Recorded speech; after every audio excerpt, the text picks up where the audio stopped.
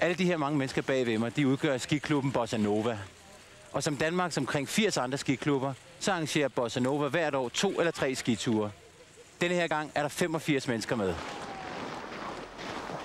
Og i hvert fald otte af dem kommer ikke til at fryse. Deres private skilærer er nemlig urimelig meget klar over, at jo mere musklerne er varmet op, jo mindre er risikoen for at få skader. Om ikke andet, så fordi der bliver mindre tid at stå på ski i. Fem armbøjninger. Kom. Der er ikke tage billeder i det. Der er selvfølgelig stor forskel på skiklubber. Nogle lægger mest vægt på afterskiing, nogle på skiundervisning, nogle smager lidt af spejder, mens andre går op i konkurrencer.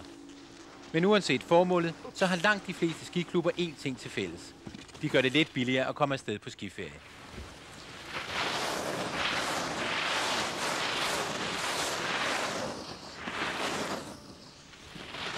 Jeg Jesper, jeg vil godt byde velkommen til piknikken.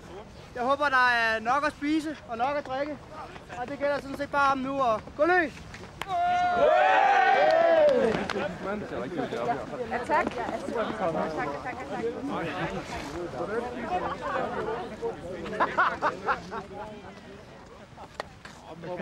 At tage på ski med en skiklub, det er både sjovt, meget billigt, meget lærerigt og meget hårdt for leveren. Hvad vil du gerne gøre? Jeg ved, jeg kan lige så tage 6 ude med det samme. Ej, bare ikke.